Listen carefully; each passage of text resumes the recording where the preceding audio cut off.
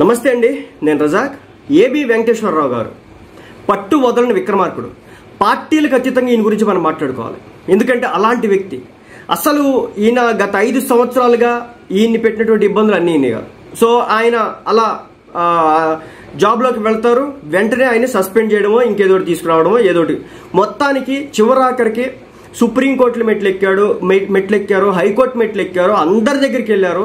చివరాఖరికి ఈ రోజే పదవి తీసుకొని ఈ రోజే విరమణ చేశారు. అంటే తన చివరి రోజు అంటే పదవి విరమణ రోజు ఏదైతే ఉంటుందో ఆ రోజు తాను ఉద్యోగంలోనే ఉన్నాను ఉంటాను నికార్సుగా నిలబడ్డాను పోరాడాను నా శక్తిని నేను చూపించుకున్నాను అని చెప్పేసి ఈ రోజున నిజం చెప్తున్న వైసీపీ పార్టీ నేతలకైతే ఇది నిజంగా ఒక అవమానంగానే మనం భావించాల్సి ఉంటుంది ఎందుకంటే ఈయన్ని పదవిలోకి రానికుండా లేకపోతే ఈయన్ని జాబ్లోకి రానికుండా చాలా విశ్వ ప్రయత్నాలు చేశారండి.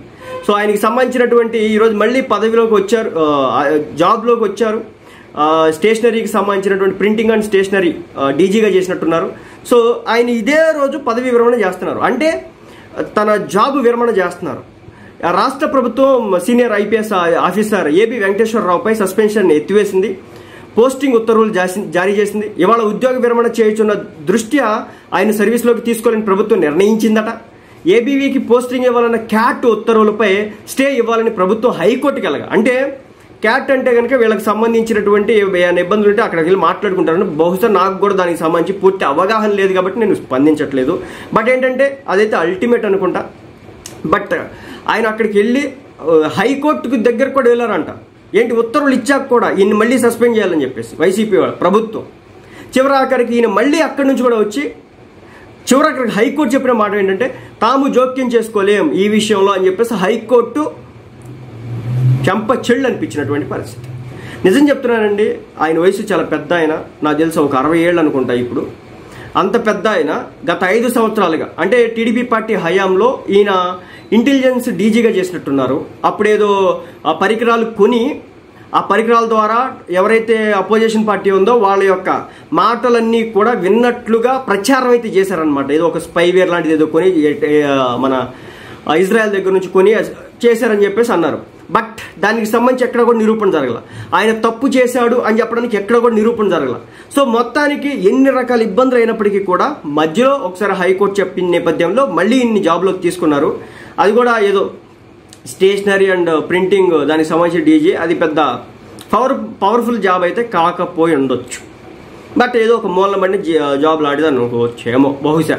సో ఆయన అయినప్పటికీ కూడా దానికి కూడా వెళ్ళారు మళ్ళీ సస్పెండ్ చేశారు.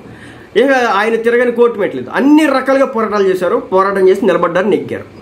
ప్రభుత్వాలు ఉంటే పోతాయి. ప్రభుత్వ ఉద్యోగుడు ఎప్పటికీ ఉంటాడు. ఏ ప్రభుత్వం వచ్చినా ఉంటాడు. అని చెప్పడానికి ప్రత్యక్ష ఉదాహరణ ఈయనే. సో రేపొద్దున టీడీపీ పార్టీ అధికారంలోకి వచ్చిన తర్వాత ఏబి వెంకటేశ్వరరావు గారికి నాకు తెలిసి ఏదో ఒక ముఖ్యంగా సలహాదారు పోస్టేనే ఇవ్వచ్చు. తీసుకోవాలని కోరికగా ఉంటే గనక. ఎందుకంటే ఈయన టీడీపీ హయాంలో ప్ర- ఏదైతే వైసీపీ పార్టీకి సంబంధించిన నాయకులకి సంబంధించినటువంటి ఏదో ఇన్ఫర్మేషన్ ఏదో లాగారన్నట్లుగా కూపీ లాగారన్నట్టుగా ప్రచారమే తప్ప ఇప్పటి వరకు అది రుజువు చేయలేకపోయారు.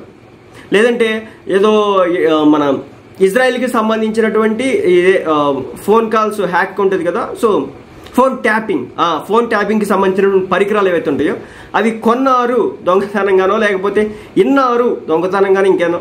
ఇలా అని చెప్పేసి ఆయన మీద అనేక రకాల అపవాదులు పడ్డ నేపథ్యంలో ఆయన అన్నిటికీ క్లీన్ చిట్ తెచ్చుకొని ఈ రోజున నికార్సుగా నిలబడి ఈ దే రోజు ఈ రోజే పదవి విరమణ లెక్క ప్రకారం ఆయన్ని ఈ రోజుకి కూడా సస్పెండ్ చేయాలని చెప్పేసి వైసీపీ పార్టీ పోరాడుతూనే ఉంది. వైసీపీ ప్రభుత్వం పోరాడుతూనే ఉంది. అయినప్పటికీ కూడా ఆయన చేసిన పని ఏంటంటే నేను తప్పు చేయలేదు నేను నిలబడ్డాను. ఆయన స్ఫూర్తిదాయకం ప్రతి ఒక్కరికి కూడా. ఎందుకంటే తను తప్పు చేయనప్పటికీ ఎక్కడి దాకైనా ఎలాంటి పనికైనా చేసి తనేంటి తను నిరూపించుకున్నాడు. అందుకే ఈ రోజున చివరి రోజున తన అరవై ఏళ్ళ సర్వీస్ అనుకున్న బహుశా అరవై ఏళ్ళ సర్వీస్లో చివరి రోజున జాబ్లో ఉండి పదవీ విరమణ చేయడం జరిగింది. సో నిజంగా ఇలాంటి వ్యక్తులకి హ్యాట్స్ ఆఫ్ చెప్పాలి. అంత పోరాటం. సామాన్యుడి వల్ల అయితే కాదు. ఆయన ఒక ఐపీఎస్ ఆఫీసర్.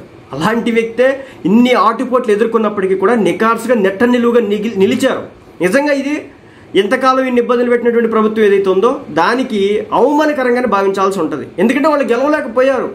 ఏబి వెంకటేశ్వరరావు గారు గెలిచారు. సో అదనమాట ఈయన స్టోరీ ఈ నిజం చెప్తున్నా ఇలాంటి వ్యక్తులు సమాజంలో చాలా స్ఫూర్తిదాయకం. మనల్ని ఎవడు ఎన్ని ఇబ్బందులు పెట్టినా సరే మనం నిటారుగా నిలబడితే కనుక వాళ్ళు వంగాల్సింది తప్ప మనం వంగాల్సిన పని లేదనేది ఈయన దగ్గర నుంచి వచ్చినటువంటి ఈయన ఈయన ఈయన చేసినటువంటి పనికి వచ్చినటువంటి ఒక ప్రతిఫలంగా మనం భావించవచ్చు.